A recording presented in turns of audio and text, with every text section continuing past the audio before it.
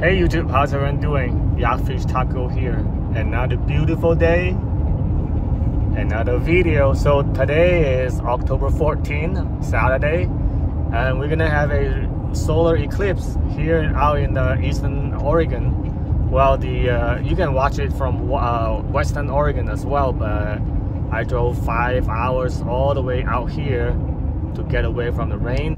Hopefully the clouds here will cooperate a little bit more and I can catch the spectacular view. The last time I caught the eclipse was uh, back in 2017 in August and it was great. And uh, it's also in Central Oregon.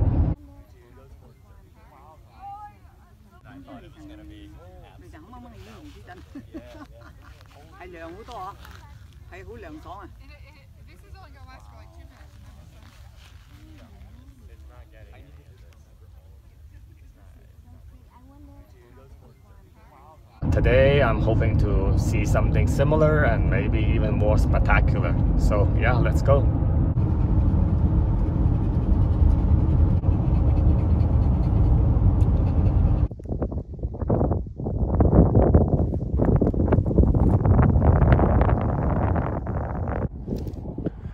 So I got to the little spot right next to the road and uh, it's all by ourselves. There's another trailer out there. So it looks like it's a good, good spot for catching the eclipse. We're right in the center of the, the band, right in the center. Yeah, can't wait. About two hours away right now, 7, 10, little 10 after 7. So excited.